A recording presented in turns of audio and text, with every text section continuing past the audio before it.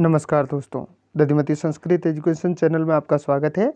दोस्तों, रीट की परीक्षा हो, चाहे टेट की परीक्षा हो, यानी कि शिक्षक पात्रता परीक्षा हो, वर्ग तीन हो एमपी का या चाहे यूपी का हो, चाहे वो टेंथ क्लास की बोर्ड की परीक्षा दे रहा हो, चाहे ट्वेल्थ क्लास की परीक्षा दे रहा हो, या अन्य कोई भी संस्कृत की एग्ज़ाम दे रहा हो, उसमें संधि का जो टॉपिक है, वो सम, समान रूप से प्रयोग में आता है। तो अभी हम स्वर संधि पे हम बात करने वाले हैं और स्वर संधि के जो आठ भाग हैं, हम उन्हीं आठों भागों पे बारी बारी से चर्चा करेंगे।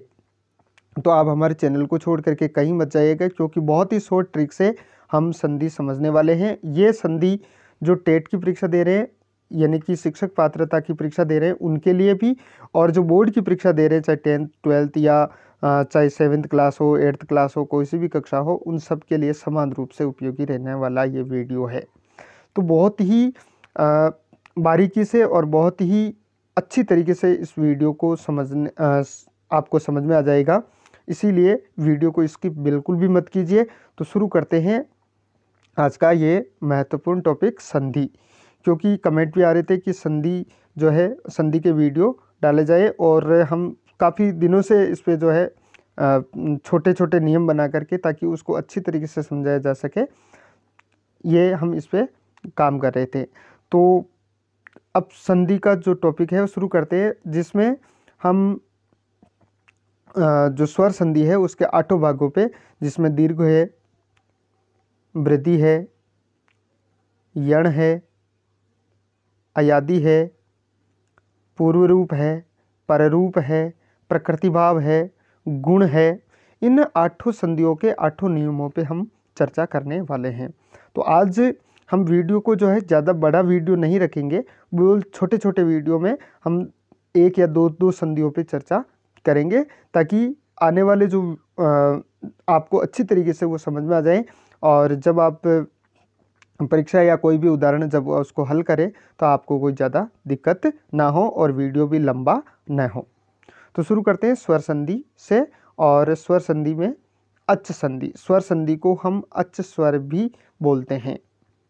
अच्छ संधि भी बोलते हैं, क्योंकि जो अच्छ प्रत्याहार होता है, अच्छ स्वरा, ऐसा कहा जाता है, अच्छ स्वरा, यानी कि अच प्रत्याहार के अंतर्गत आने वाले जितने भी जो वर्ण हैं, वो सारे के सारे स्वर वर्ण होते हैं।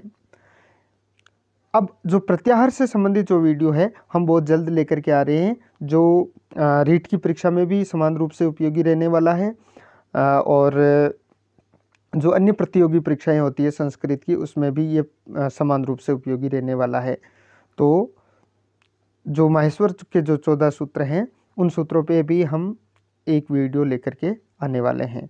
इसीलिए संस्कृत की सारी जानकारी आपको इस चैनल के ऊपर मिलने वाली है। इसीलिए चैनल को सब्सक्राइब करके बेल आइकन ज़रूर से प्रेस कर दीजिए। तो शुरू करते हैं आज का ये वीडियो। सबसे पहले हमें स्वर को समझना बहुत ज़रूरी है। जो स्वर है हम उस स्वर को समझते हैं। दो स्वरों के मेल से होने वाले विकार, दो स्वरों के मेल से होने वाले विकार या उस विकार अर्थात उस परिवर्तन को हम स्वर संधि कहते हैं। दो स्वरों के यानी कि जो स्वर है, यानी कि जो पूर्व वर्ण है, वो भी स्वर हो, और जो पर वर्ण है, वो भी स्वर हो। तो पूर्व वर्ण और पर वर्ण इन दोनों जब दोनों तरफ़ स्वर हो तो उसके जो आ, मेल से जो विकार उत्पन्न होगा उसे हम संधि के स्वर संधि कहते हैं। स्वर संधि को असंधि भी कहा जाता है जैसे हिम प्लस आले हिमालय क्योंकि यहाँ मैं में भी ए है और इधर भी आ है तो दो स्वरों के मेल से क्या रूप बना? हिमालय अत्र आस्ते या अस्ति तो अत्रास्ति भव्य आकृति तो भव्याकृति कदापि कदापि ऐसे हम स्वर संधि के कुछ कतिपय उदाहरणों को समझेंगे। संस्कृत में संधियाँ तीन प्रकार की होती है, स्वर, व्यंजन और विसर्ग। इस पृष्ठभूमि पर हम स्वर संधि का अध्ययन करने वाले हैं, यानी कि आज से जो है, हम स्वर संधि का अध्ययन करेंगे। स्वर संधि की परिभाषा। स्वर संधि स्वर संधि किसे कहेंगे? दो स्वरों के आपस में मिलने से जो विकार उत्पन्न होता है, उसे हम स्वर संधि कहते हैं, जैसे देव इंद्र, देवेंद्र। अर्थात, इसमें दो स्वर हैं, ए और ई। आसपास में और ए और ई को मिलने से क्या बन जाता है? ए बन जाता है। इस तरीके से जब दो स्वर ध्वनियों के मेल से जो अलग स्वर बन, बना है, उस विकार को हम स्वर संधि कहते हैं। स्वर संधि को हम अच संधि भी कहते हैं। स्वर संधि के यहाँ पर कुछ कतिपय उदाहरण देख सकते हैं। कल्प प्लस अंत, कल्पांत, वार्ता प्लस अलाप, वार्तालाप, गिरी प्लस इंद्र गिरीन्द्र सती प्लस ईशा, सतीश, या सतीशा, भानु प्लस उदय भानुदय सिंधु प्लस उर्मी, सिंधुर्मी, देव प्लस इंद्रम, देवेंद्रम, या देव प्लस इंद्र है, देवेंद्र है, ये रूप सिद्ध होगा। तो ये सर संधि के कुछ कतिपय उदाहरण हैं, जिनको हम अलग अलग संधियों में समझेंगे। यहाँ पर कुछ और उदाहरण देख सकते हैं। चंद्र प्लस उदय चंद्रोदय, एक प्लस एक है, एक एक है। परम प्लस औषधम परमोषधम प्रति प्लस उपकार है प्रत्युपकार है। ये जितने भी जो अभी हमने उदाहरण देखे हैं, ये सब के सब स्वर संधि के उदाहरण हैं। इनके जो अलग अलग जो भेद हैं इनमें कुछ उदाहरण गुण के हैं कुछ उदाहरण वृद्धि के हैं, कुछ उदाहरण स्वर के दीर्घ के हैं तो हम उनको अलग अलग तरीके से भी आने वाले वीडियो में समझेंगे। आज हम जो है, पहले स्वर संधि पे थोड़ी चर्चा कर लेते हैं कि संस्कृत व्याकरण में आठ प्रकार की स्वर संधियों का अध्ययन किया जाता है। जबकि हिंदी व्याकरण में केवल पाँच प्रकार की संधियों का अध्ययन किया जाता है, जो दीर्घ गुण वृद्धि गुण यण अयादि और इसके साथ साथ संस्कृत में जो है तीन अलग और नियम हैं, हम उन नियमों का भी अध्ययन करेंगे। और संस्कृत में जो है हम आठ प्रकार की संधि का या इन सूत्रों का नियम देखेंगे। संस्कृत में जो आठ प्रकार हैं, पहला है स्वर संधि समझ आऊँगा दीर्घ संधि, जिसका सूत्र है अकेश्वरण है दीर्घ। दूसरा है गुण संधि जिसका सूत्र है आद गुणे। तीसरा है वृद्धि संधि, जिसका है वृद्धि रेची। चौथी है यण संधि, जिसका सूत्र है इको यणची हम इन सूत्रों की व्याख्या करेंगे और इन सूत्रों के हिसाब से ही उदाहरणों को समझेंगे। ये ये संधियाँ हम स्वर में पढ़ने वाले हैं। पांचवी है अयादि संधि, एचो यवायाव। छठी है पूर्व रूप संधि, एँगे पदांतादति।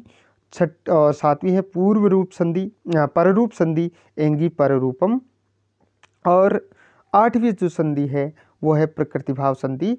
इदु द्विवचनम प्रहग्रयाम, इसकी प्रहग्राम संज्ञा होती है। तो शुरू करते हैं इन संधियों का। तो संस्कृत में ये कहा गया है कि संस्कृत में संधि के इतने व्यापक नियम है कि सारा का सारा वाक्य संधि करके एक शब्द के रूप में लिखा जा सकता है। जैसे आप इसको आसानी से समझेंगे। कि यहाँ पर कुछ अलग लिखे हुए हैं, जैसे तत्ह तम, उपकारम, आचार्यम, आलोक्य, ईश्वरम, भावनाया, अह। तो ये अलग अलग शब्दों को जब हम एक शब्द में लिखेंगे तो लिखेंगे ततस्तम उपकारम आचार्यम, अवलोक्येश्वर, भावनाया, अह। यानी कि इन सभी शब्दों को हमने एक संधि के रूप में बता दिया है। शुरू करते हैं। आज की स्वर संधि की पहली संधि दीर्घ संधि, दीर्घ स्वर संधि। दीर्घ संधि का सूत्र है अक सवर्ण दीर्घ है। दीर्घ संधि का सूत्र क्या होता है? अक अक सवर्ण दीर्घ है। यह संधि स्वर संधि के भागों में से एक एक भाग है। स्वर संस्कृत में स्वर संधियाँ जो है, आठ प्रकार की होती है। शुरू करते हैं। इसके जो दीर्घ संधि के जो चार नियम हैं, दीर्घ संधि में हम कितने नियमों को पढ़ेंगे? चार नियमों को। और इसका सूत्र कौन सा है? अक सवर्ण दीर्घे। तो दोस्तों, कई बार क्या होता है कि जब हम एग्ज़ाम देते हैं, तब उस संधि का नाम ने पूछ करके, जैसे मान लीजिए उसने दे दिया धर्म प्लस अर्थ धर्मार्थ है तो ये किस सूत्र से सिद्ध हुआ है? तो हमें संधि के जो सूत्र हैं, उन सूत्रों को भी ध्यान में रखना है। अक प्रत्याहार के बाद उसी का यदि समान वर्ण आए, क्या कह रहा है? अक है सवर्ण, यानी अक है, यानी अक प्रत्याहार सवर्ण, यानी सवर्ण सवर्ण, दीर्घ, यानी उसका दीर्घ हो जाता है। तो ये दोनों मिलकर के दीर्घ बन जाते हैं। रेस्व हो या दीर्घ हो, ए, ई, उ, री, के बाद यदि ह्रस्व या दीर्घ, यानी ए, ई, उ, आ आ जाएँ तो इनको मिल करके ए का आ, बड़ी ई का बड़ी और ऊ का ऊ और ई का री हो जाता है। इसके कुछ अलग अलग नियम देख लेते हैं। जो पहला नियम है, आप यहाँ पर देख सकते हैं, ए या आ के बाद ए या आ हो तो उसका आ हो जाता है। ए या आ के बाद अ या आ हो तो उसका क्या हो जाता है? आ हो जाता है। जैसे धर्म प्लस अर्थ, धर्म धन, अर्थ तो धर्मार्थ है। तो धर्म में ए है और अर्थ में भी ए है। तो ये मिलकर के क्या बन गया? आ बन गया। जैसे हिम प्लस आले हिमालय है। पुस्तक प्लस आले पुस्तकालय है। विद्या प्लस अर्थी विद्यार्थी। तो विद्यार्थी में आ प्लस ए बराबर आ। और विद्या प्लस आले विद्यालय है। तो यहाँ पर आप देख सकते हैं कि हमने पहले नियम में ये सीखा कि ए प्लस ए उसका भी आ होता है। ए प्लस आ उसका भी आ होता है ए प्लस आ उसका भी आ होता है आ प्लस ए उसका भी आ होता है और आ प्लस आ बराबर उसका भी आ होता है। तो दूसरे नियम में आप देख सकते हैं ई प्लस ई तो ई प्लस ई बड़ी, छोटी ई प्लस बड़ी बराबर बड़ी बड़ी ई प्लस छोटी बराबर बड़ी और बड़ी ई प्लस बड़ी बराबर बड़ी। जैसे रवि प्लस इंद्र रविंद्र, मुनि प्लस इंद्र, मुनिंद्र, गिरी प्लस ईश, गिरीश, मुनि प्लस ईश, मुनीश। मही प्लस इंद्र, महिंद्र, नारी प्लस इंदु, नारिंदु। ऐसे ही लक्ष्मी प्लस इंदु तो लक्ष्मींदु रूप सिद्ध होगा।